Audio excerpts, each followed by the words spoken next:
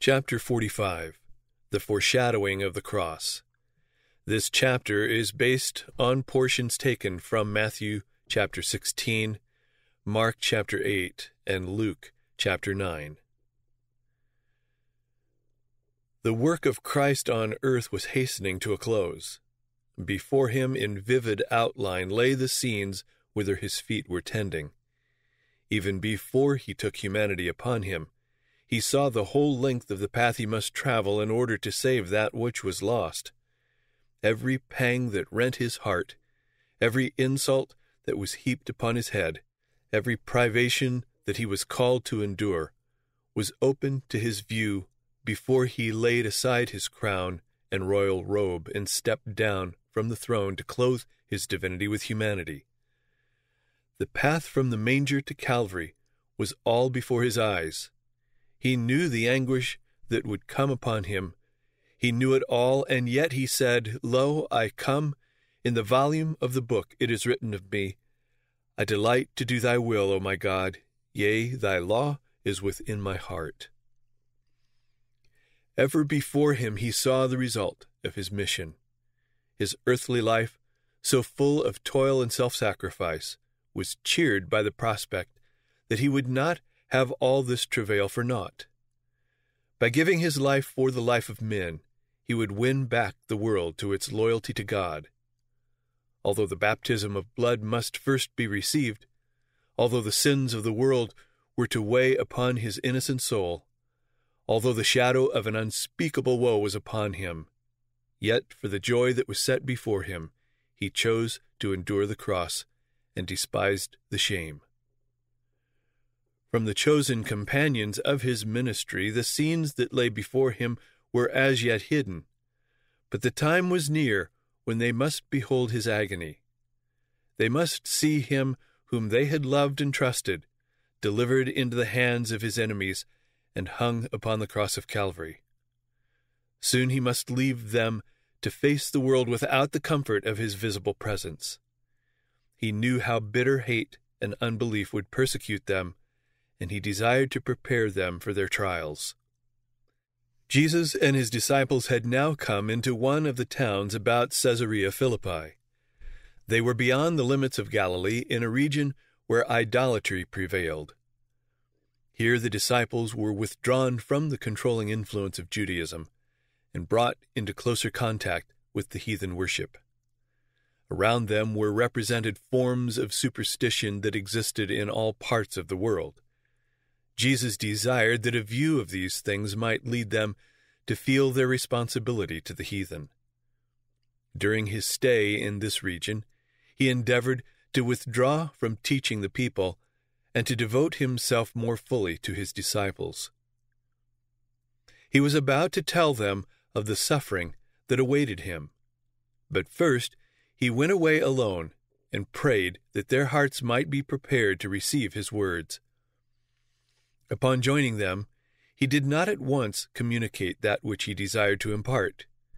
Before doing this, he gave them an opportunity of confessing their faith in him that they might be strengthened for the coming trial. He asked, Whom do men say that I, the Son of Man, am? Sadly, the disciples were forced to acknowledge that Israel had failed to recognize their Messiah. Some, indeed, when they saw his miracles, had declared him to be the son of David. The multitudes that had been fed at Bethsaida had desired to proclaim him king of Israel. Many were ready to accept him as a prophet, but they did not believe him to be the Messiah.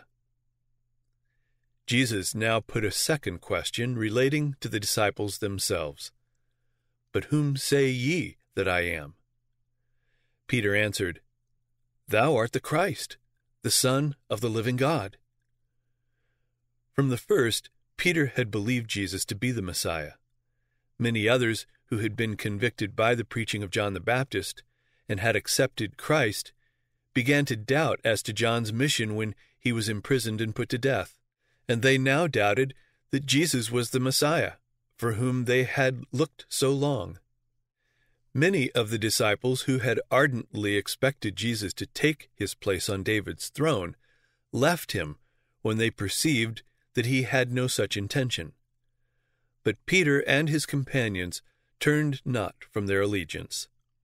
The vacillating course of those who praised yesterday and condemned today did not destroy the faith of the true follower of the Savior. Peter declared, Thou art the Christ, the Son of the living God. He waited not for kingly honors to crown his Lord, but accepted him in his humiliation. Peter had expressed the faith of the twelve, yet the disciples were still far from understanding Christ's mission. The opposition and misrepresentation of the priests and rulers, while it could not turn them away from Christ, still caused them great perplexity. They did not see their way clearly. The influence of their early training, the teaching of the rabbis, the power of tradition still intercepted their view of truth. From time to time, precious rays of light from Jesus shone upon them. Yet often they were like men groping among shadows. But on this day, before they were brought face to face with the great trial of their faith, the Holy Spirit rested upon them in power. For a little time their eyes were turned away from the things which are seen, to behold the things which are not seen. Beneath the guise of humanity, they discerned the glory of the Son of God. Jesus answered Peter, saying, Blessed art thou, Simon Barjona, for flesh and blood hath not revealed it unto thee, but my Father which is in heaven. The truth which Peter had confessed is the foundation of the believer's faith. It is that which Christ himself has declared to be eternal life. But the possession of this knowledge was no ground for self glorification. Through no wisdom or goodness of his own had it been revealed to Peter. Never can humanity of itself attain to a knowledge of the divine. It is as high as heaven. What canst thou do? Deeper than hell. What canst thou know? Only the Spirit of adoption can reveal to us the deep things of God, which eye hath not seen nor ear heard, neither have entered into the heart of man. God hath revealed them unto us by his Spirit, for the Spirit searcheth all things, yea, the deep things of God. The secret of the Lord is with them that fear him, and the fact that Peter discerned the glory of Christ was an evidence that he had been taught of God. Ah, indeed, blessed art thou, Simon Barjona, for flesh and blood hath not revealed it unto thee. Jesus continued, I say also unto thee, that thou art Peter, and upon this rock I will build my church, and the gates of hell shall not prevail against it. The word Peter signifies a stone, a rolling stone. Peter was not the rock upon which the church was founded. The gates of hell did prevail against him when he denied his Lord with cursing and swearing. The church was built upon one against whom the gates of hell could not prevail. Centuries before the Saviour's advent, Moses had pointed to the rock of Israel's salvation. The psalmist had sung of the rock of my strength. Isaiah had written, Thus saith the Lord God, Behold, I lay in Zion for a foundation a stone, a tried stone, a precious cornerstone, a sure foundation. Peter himself, writing by inspiration, applies this prophecy to Jesus. He says, If you have tasted that the Lord is gracious, unto whom coming a living stone, rejected indeed of men, but with God elect, precious, you also as living stones are built up a spiritual house. Other foundation can no man lay than that is laid, which is Jesus Christ.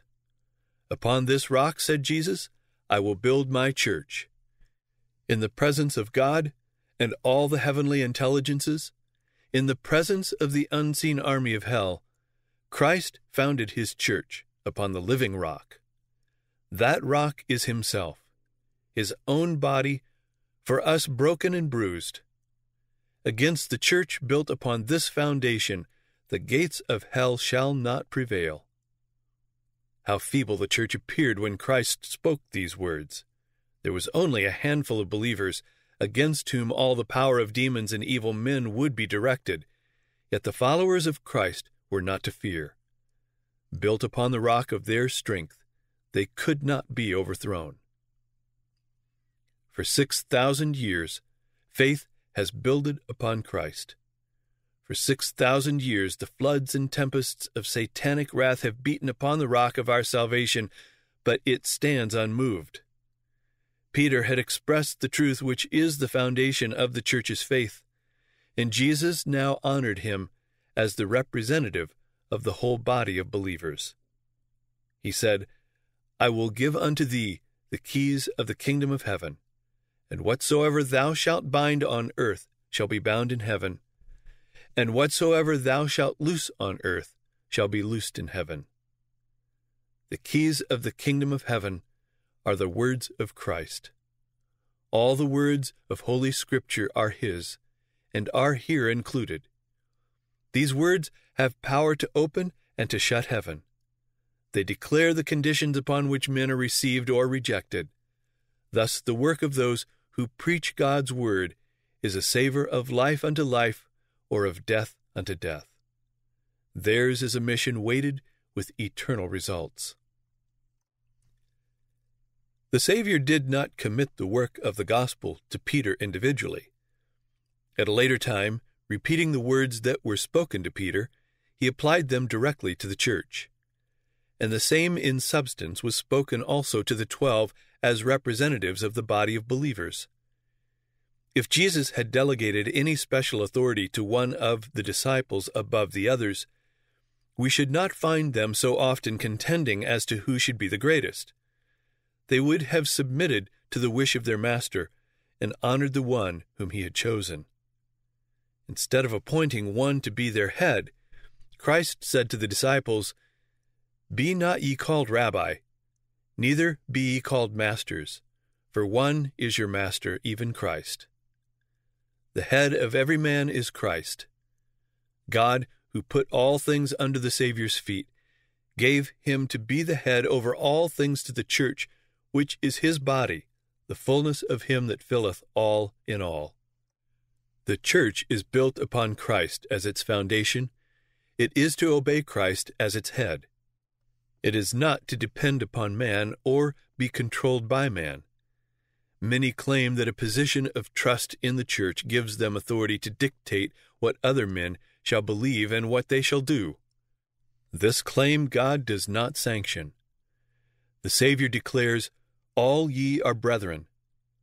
All are exposed to temptation and are liable to error. Upon no finite being can we depend for guidance. The rock of faith is the living presence of Christ in the Church. Upon this the weakest may depend, and those who think themselves the strongest will prove to be the weakest unless they make Christ their efficiency. Cursed be the man that trusteth in man, and maketh flesh his arm. The Lord is the rock, his work is perfect. Blessed are all they that put their trust in him. After Peter's confession, Jesus charged the disciples to tell no man that he was the Christ. This charge was given because of the determined opposition of the scribes and Pharisees. More than this, the people and even the disciples had so false a conception of the Messiah that a public announcement of him would give them no true idea of his character or his work. But day by day he was revealing himself to them as the Savior, and thus he desired to give them a true conception of him as the Messiah. The disciples still expected Christ to reign as a temporal prince. Although he had so long concealed his design, they believed that he would not always remain in poverty and obscurity the time was near when he would establish his kingdom. That the hatred of the priests and rabbis would never be overcome, that Christ would be rejected by his own nation, condemned as a deceiver, and crucified as a malefactor, such a thought the disciples had never entertained. But the hour of the power of darkness was drawing on, and Jesus must open to his disciples the conflict before them. He was sad as he anticipated the trial. Hitherto he had refrained from making known to them anything relative to his sufferings and death. In his conversation with Nicodemus, he had said, As Moses lifted up the serpent in the wilderness, even so must the Son of Man be lifted up, that whosoever believeth in him should not perish, but have eternal life. But the disciples did not hear this, and had they heard, would not have understood. But now they have been with Jesus, listening to his words, beholding his works, until, notwithstanding the humility of his surroundings and the opposition of priests and people, they can join in the testimony of Peter Thou art the Christ, the Son of the living God. Now the time has come for the veil that hides the future to be withdrawn. From that time forth began Jesus to show unto his disciples how that he must go unto Jerusalem and suffer many things of the elders and chief priests and scribes, and be killed and be raised again the third day. Speechless with grief and amazement, the disciples listened. Christ had accepted Peter's acknowledgment of him as the Son of God, and now his words pointing to his suffering and death seemed incomprehensible. Peter could not keep silent. He laid hold upon his master as if to draw him back from his impending doom, exclaiming, Be it far from thee, Lord, this shall not be unto thee. Peter loved his Lord, but Jesus did not commend him for thus manifesting the desire to shield him from suffering. Peter's words were not such as would be a help and solace to Jesus in the great trial before him. They were not in harmony with God's purpose of grace toward a lost world, nor with the lesson of self sacrifice that Jesus had come to teach by his own example. Peter did not desire to see the cross in the work of Christ. The impression which his words would make was directly opposed to that which Christ desired to make on the minds of his followers, and the Savior was moved to utter one of the sternest rebukes that ever fell from his lips. Get thee behind me, Satan! Thou art an offense unto me, for thou savorest not the things that be of God, but those that be of men. Satan was trying to discourage Jesus and turn him from his mission and Peter, in his blind love, was giving voice to the temptation. The prince of evil was the author of the thought. His instigation was behind that impulsive appeal. In the wilderness, Satan had offered Christ the dominion of the world on condition of forsaking the path of humiliation and sacrifice. Now he was presenting the same temptation to the disciple of Christ. He was seeking to fix Peter's gaze upon the earthly glory, that he might not behold the cross to which Jesus desired to turn his eyes. And through Peter, Satan was again pressing the temptation upon Jesus. But the Savior heeded it not. His thought was for his disciple. Satan had interposed between Peter and his master that the heart of the disciple might not be touched at the vision of Christ's humiliation for him. The words of Christ were spoken not to Peter, but to the one who was trying to separate him from his Redeemer.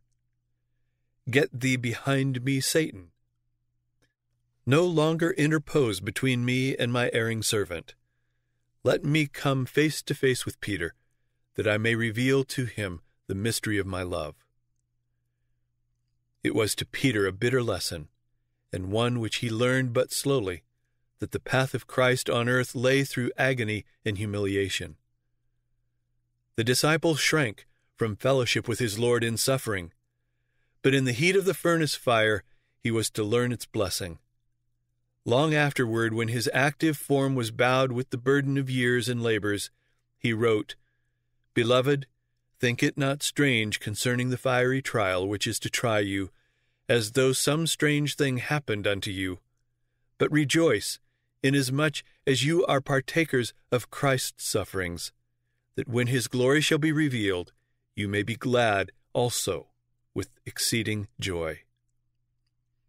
Jesus now explained to his disciples that his own life of self abnegation was an example of what theirs should be. Calling about him with the disciples the people who had been lingering near, he said, If any man will come after me, let him deny himself, and take up his cross daily and follow me. The cross was associated with the power of Rome. It was the instrument of the most cruel and humiliating form of death. The lowest criminals were required to bear the cross to the place of execution, and often, as it was about to be laid upon their shoulders, they resisted with desperate violence until they were overpowered and the instrument of torture was bound upon them. But Jesus bade his followers take up the cross and bear it after him. To the disciples, his words, though dimly comprehended, pointed to their submission to the most bitter humiliation, submission even unto death for the sake of Christ. No more complete self surrender could the Saviour's words have pictured. But all this he had accepted for them. Jesus did not count heaven a place to be desired while we were lost. He left the heavenly courts for a life of reproach and insult, and a death of shame. He who was rich in heaven's priceless treasure became poor, that through his poverty we might be rich. We are to follow in the path he trod. Love for souls for whom Christ died means crucifixion of self. He who is a child of God should henceforth look upon himself as a link in the chain let down to save the world, one with Christ in his plan of mercy, going forth with him to seek and save the lost. The Christian is ever to realize that he has consecrated himself to God, and that in character he is to reveal Christ to the world. The self sacrifice, the sympathy, the love manifested in the life of Christ are to reappear in the life of the worker for God.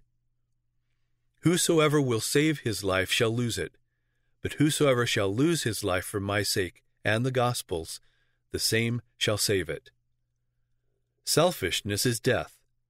No organ of the body could live should it confine its service to itself. The heart, failing to send its lifeblood to the hand and the head, would quickly lose its power. As our lifeblood, so is the love of Christ diffused through every part of his mystical body. We are members of one another, and the soul that refuses to impart will perish. And what is a man profited, said Jesus, if he shall gain the whole world and lose his own soul? Or what shall a man give in exchange for his soul? Beyond the poverty and humiliation of the present, he pointed the disciples to his coming in glory, not in the splendor of an earthly throne, but with the glory of God and the hosts of heaven. And then, he said, he shall reward every man according to his works. Then for their encouragement he gave the promise Verily I say unto you, there be some standing here which shall not taste of death, till they see the Son of Man coming in his kingdom. But the disciples did not comprehend his words. The glory seemed far away. Their eyes were fixed upon the nearer view, the earthly life of poverty, humiliation, and suffering. Must their glowing expectations of the Messiah's kingdom be relinquished? Were they not to see their Lord exalted to the throne of David? Could it be that Christ was to live a humble, homeless wanderer, to be despised, rejected, and put to death? Sadness oppressed their hearts, for they loved their Master.